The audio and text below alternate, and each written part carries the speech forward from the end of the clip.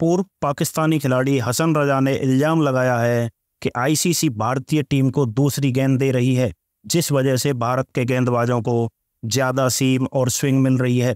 हसन रजा ने सीधे तौर पर आईसीसी को बेईमान कह दिया है।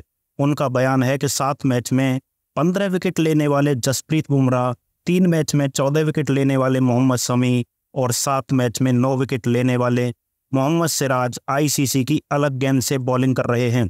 अगर ऐसा नहीं होता तो दूसरे देश के गेंदबाजों को भी सीम और स्विंग मिलती। हसन रजा यही नहीं रुके, उन्होंने गेंद की जाँच की मांग की और भारतीय क्रिकेट कंट्रोल बोर्ड और थर्ड एम्पायर को दोषी ठहराने की कोशिश की।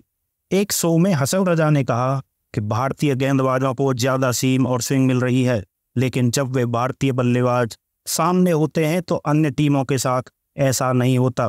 आईसीसी टीम इंडिया को गेंदबाजी के लिए उतरने पर अलग अलग गेंद दे रहा है। यहाँ तक कि बीसीसीआई और थर्ड एम्पायर भी इसमें शामिल लगते हैं। पूर्व भारतीय क्रिकेटर आकाश चोपड़ा ने इस बेबुनियादी आरोपों पर प्रतिक्रिया दी है। चोपड़ा ने एक्स पर एक पोस्ट में लिखा, क्या यह एक गंभीर क्रिकेट शो है? यदि नहीं तो कृपया कहीं अंग्रेज़ी में व्यंग या कॉमेडी का उल्लेख करें। मेरा मतलब है, हो सकता है कि यह पहले से ही उर्दू में लिखा हो, लेकिन दुर्भाग्य से मैं इसे पढ़ या समझ नहीं रहा हूँ।